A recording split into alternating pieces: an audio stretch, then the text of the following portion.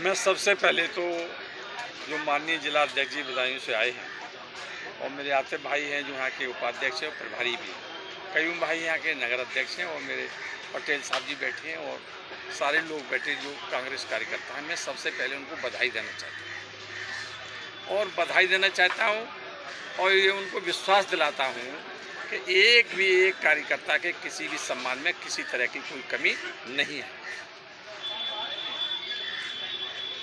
अभी विपक्ष वाली बात कही थी विजय जी ने, कि विपक्ष कहता है कि विकास नहीं करने देंगे, अध्यक्ष बनने के बाद। देखिए, उसकी तो चिंता है उनको सबसे बड़ी।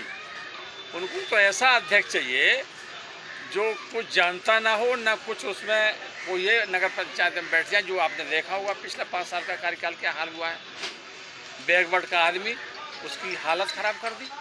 और यहाँ तो ओबीसी सीट थी तो किसी भी ओबीसी वाले को टिकट देते ना अगर यहाँ पर जनता की पुकार पर अवनीश यादव कैंडिडेट नहीं होते तो यहाँ निर्वोध चुनाव होता।